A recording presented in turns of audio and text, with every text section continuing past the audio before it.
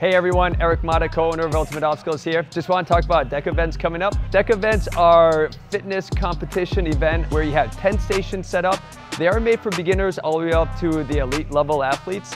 You get to challenge yourself. The neat thing is it is the same 10 stations every single time. So that means you can come do one one month, and a couple months down the road, you can challenge yourself again. And it has simple movements like step back lunges, box step ups or step overs. They have some more difficult movements. The Assault bike is in there too. If you haven't done that one before, that will definitely work you out. But either way, we have a great crew down here that runs the event, coaches, they score you, they see how you did. You have X amount of reps to do, and uh, you try to do as fast as you can. Like mentioned, you come down here, you challenge yourself, and uh, you try to get the best score you can. So check out their website, ultimateobstacles.com, and check out the fitness events to book your next DEKA event with us.